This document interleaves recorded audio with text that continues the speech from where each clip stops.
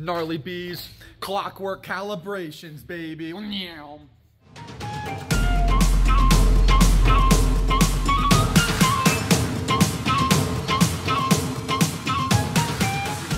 we're gonna now move into clockwork calibrations, what they do with and at Gnarly B's. We're all the same, we love each other here.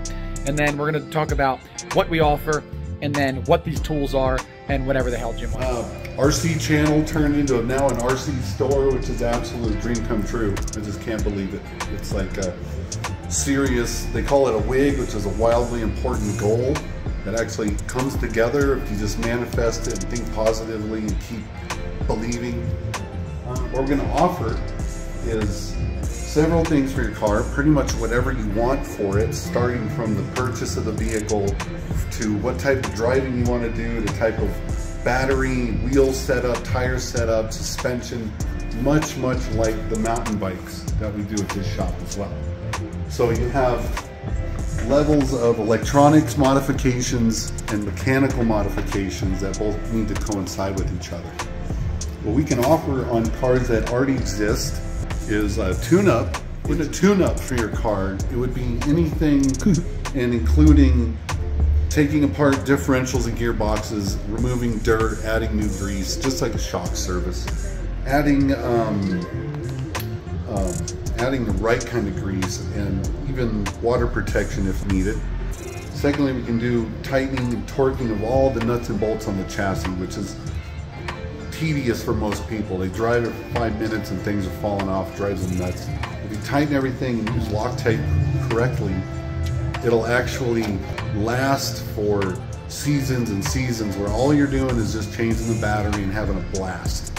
These two trucks here have been together and operating for about 10 years straight. And it's all for just routine little maintenance. Is set up your electronics as far as steering limits and throttle limits and say the car is too fast for somebody, can limit it back for them in stages and step it up for them through the electronics, just making adjustments. We can add modifications, like I was saying, like electronics, but we can add another channel to the remote. So instead of steering and throttle, we can add lights and horn and sound systems and winches and just mm-hmm. your, your imagination can think it. We can start working on. Then we can create modifications like i.e. extend wheelbases and make it a long bed or a short bed or customize different types of axles on different types of rigs, different types of gearboxes in different chassis. All of it's possible with these small amount of tools right here because they're small, they're not hard to work with, and we use aluminum pieces, parts, and aces across the street, and we friends with them, and we have nuts and bolt contract where Hell yeah, we do. Let's start building. Okay, we're gonna do a little sprechen about the tools needed to uh, work with RC cars. Seriously, this wrench set here, it's just a barrel, and it has many little sizes ranging from half a mil to different Americans and whatever. Checking sizes before you go to install or sell or upgrade parts. We'll make sure we're selling you the correct items. Secondly, a variety of hardware, nuts and bolts, wire connections, chemicals, and these are little 3D printed brackets.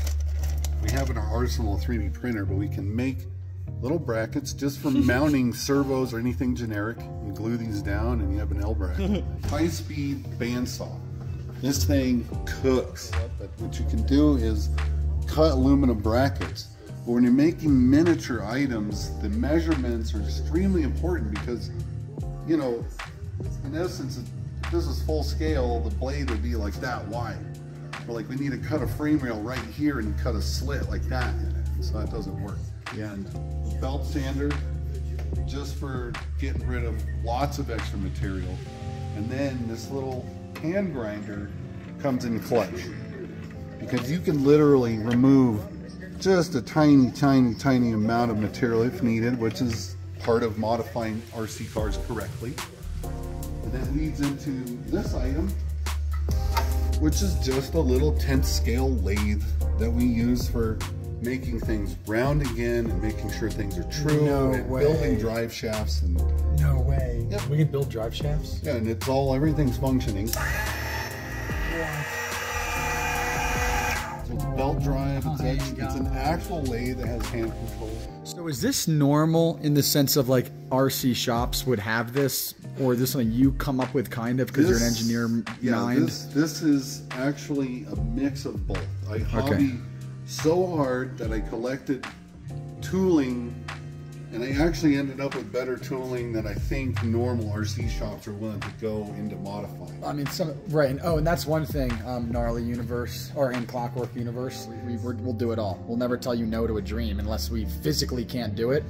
Gals, we just want to do some RC cars and and make some dreams ridiculous. If you want to put octopus tentacles coming out to clamp onto my hat and take it off, I bet Jim can do it. We can do it, bro. RC shit. What's super important about RC cars, mountain bikes, cars, Ferraris, doesn't matter. If you like it as a customer, we like it. Oh, dope. We don't have an opinion as far as, oh, well, that's not expensive enough, or we don't do this. These trucks, right? This is a 1964 Tonka pickup roll truck. It was, it just had a boom on the back, super common, but it's from 64. And I converted it into a full metal, all metal, just kind of scale rock crawler. Motor and trannies up front. Forgive the dirt, it's literally on a 10 or 12 year build series, just still working. And if you're a subscriber to Clockwork Calibration channels, you'll see this thing in action quite a bit. This is one of our favorite girls. And to me, it's so special that the toy itself, instead of just being a plastic Yeah, can you body- explain that? This was not an RC car, is what we're Yeah, saying, right? From 1964. Yeah, it was just a car that you're modding into Yeah, making it this. was That's just, ludicrous. Uh, it was just, and you can see these cuts right in here. It used to have little plastic hard wheels, and it was just a roll toy. yeah. And I convert them into these just ridiculous rock crawling. I mean, they have plenty of uh, suspension articulation. There's a 1976 Tonka ambulance that was converted into my uh, favorite just scale truck. It pulls trailers, goes for hours. It has undercarriage lighting. You can see all the scratches, all done to itself by its own weight. You know, it's I call it scale damage, which is some of the most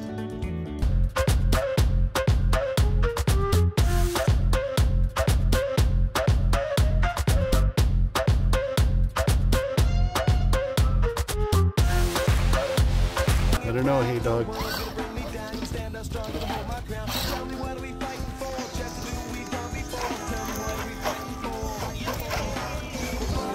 Fascinating things. If you build a truck, then you go out and you drive it over the same trail over and over, you have a scale road. You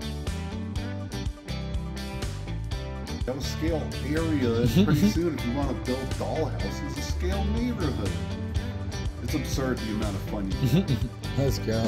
Yeah, because if it entertains you as the client and the owner of the truck, mission accomplished, goal. It is like, you're happy, we're happy. You like it, we like it.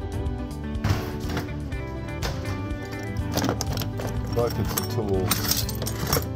All of these proven, proven RC building equipment. Look like crap, but it's scrap, but it's not. It's good stuff. All right, well,